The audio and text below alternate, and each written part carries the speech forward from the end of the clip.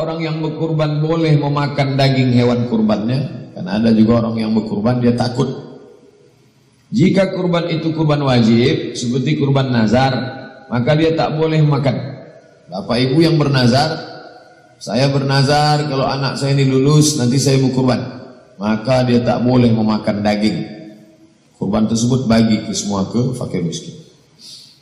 Tapi kalau kurbannya itu kurban sunnah, kurban kita ini umumnya kurban sunnah. Bukan sekedar boleh, afdal. Fakulu minha, makanlah. Justru kita disuruh, makanlah.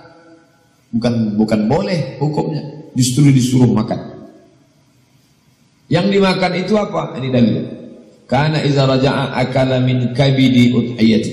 Nabi memakan hati jadi nanti balik pulang sholat id, pergi ke masjid tempat penyembelihan, habis motong itu minta hatinya, hati hewan kurban itu cuci bersih.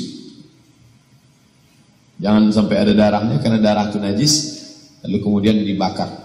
Sebentar saja tipis ada api makan. Lit tabaruk untuk mengambil barakah. Itu yang dilaksanakan Nabi. Kalau mau mengikut sunnah, andai tidak dibuat tak apa-apa. Ini sunnah, bukan wajib bukan rukun, bukan syarat.